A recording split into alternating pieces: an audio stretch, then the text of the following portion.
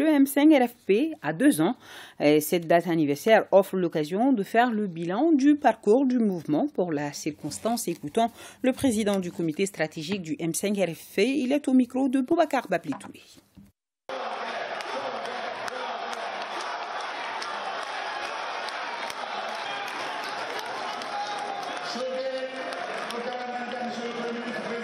Quand on fait le bilan aujourd'hui, personne de bonne foi ne peut nier aujourd'hui que du point de vue de la sécurité, la situation s'est nettement améliorée.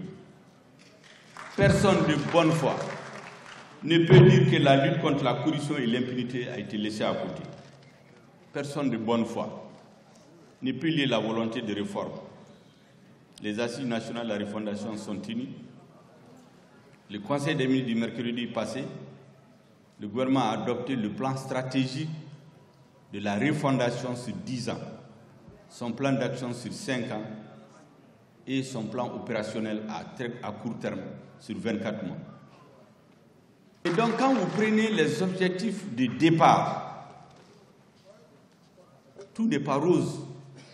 Mais quand vous prenez le contexte international dans lequel la rectification a travaillé depuis un an, il y a des actes fondateurs, des actes stratégiques de la restauration de la dignité du Mali,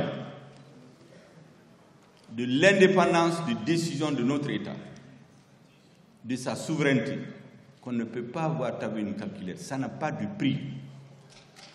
Personne de bonne foi ne peut le nier aujourd'hui. Personne ne peut nier que les Maliens ont retrouvé le sentiment de fierté. De la risée du monde il y a quelques années, certains se moquaient de notre armée.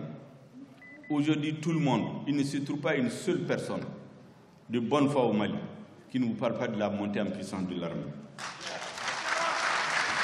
Et donc, au total, quand vous prenez les objectifs de départ et ce qui a été engrangé en un an, je pense que les militantes et les militants du M5 doivent être fiers des résultats obtenus. Mais cela ne pouvait pas se faire avec le M5 seul. Le M5 a eu un partenaire fiable. Ceux qui ont agi, ont parlé, ont décidé au nom des forces armées de sécurité. Je veux dire le président de la transition et ses compagnons.